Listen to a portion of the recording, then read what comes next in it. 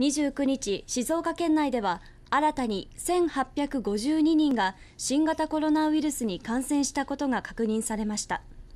5日連続で前の週の同じ曜日を下回りました